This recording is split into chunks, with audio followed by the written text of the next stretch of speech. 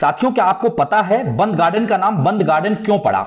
साथियों, यहाँ पे काफ़ी पहले से एक बंधारा मौजूद था, यानी कि स्मॉल डैम, और अंग्रेज़ यहाँ के पास मौजूद गार्डन को बंद गार्डन कह के पुकारने लगे। इसके चलते इस पूरे एरिया का नाम बंद गार्डन पड़ गया। बंद गार्डन को चीमा गार्डन से जोड़े जाने के लिए एक ब्रिज बनाया गया, जिसे 1867 में कैप्टन रॉबर्ट एस सेलॉन ने बनाया, और इसका कुल कॉस्ट टू लाख रुपीज़ आया। उस समय साथियों मुंबई बॉम्बे कहा जाता था और वहाँ के गवर्नर थे William Robert Vesey Fitzgerald और इन्हीं के नाम पे इस ब्रिज का नाम रख दिया गया फिट्ज गेराल्ड ब्रिज।